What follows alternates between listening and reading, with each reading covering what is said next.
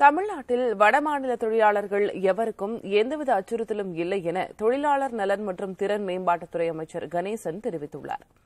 தமிழ்நாட்டின் சில இடங்களில் வடமாநில தொழிலாளர்கள் தாக்கப்பட்டு வருவதாகவும் இதனால் அவர்கள் வெளியேறி வருவதாகவும் சமூக வலைதளங்களில் தகவல் பரவி வருகிறது. இது தொடர்பாக அறிக்கை வெளியிட்டிருக்கும் தொழிலாளர் நலன் மற்றும் திறன் மேம்பாட்டுத்துறை அமைச்சர் கணேசன் தமிழ்நாட்டில் வடமாநில தொழிலாளர்கள் எவருக்கும் எந்தவித அச்சுறுத்தலும் இல்லை என குறிப்பிட்டுள்ளார். மேம்பால கட்டுமானம் மெட்ரோ ரயில் பணிகள் உள்ளிட்ட பல்வேறு முக்கிய பணிகளில் வடமாநில தொழிலாளர்கள் முக்கிய பங்காற்றி வருவதாக தெரிவித்துள்ள அவர் விருந்தோம்பலுக்கு பெயர் பெற்ற தமிழ்நாட்டில் மற்ற மாநில தொழிலாளர்கள் அமைதியான சூழ்நிலையில் வாழ்ந்து வருவதாக அமைச்சர் கணேசன் தனது அறிக்கையில் குறிப்பிட்டுள்ளார். தமிழகத்தில் வடமாநில தொழிலாளர்கள் பாதுகாப்பாக இருப்பதாக பீகார் ஏடிஜிபி தெரிவித்துள்ளார். பாட்னாவில் செய்தியாளர்கள் மத்தியில் பேசிய அவர் இது தொடர்பாக தமிழக காவல்துறையை தொடர்பு கொண்டு வருவதாக கூறியிருக்கிறார்.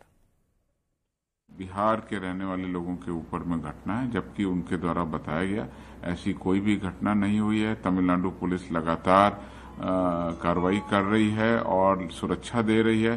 सभी लोग सुरक्षित हैं, कहीं कोई दिक्कत नहीं है।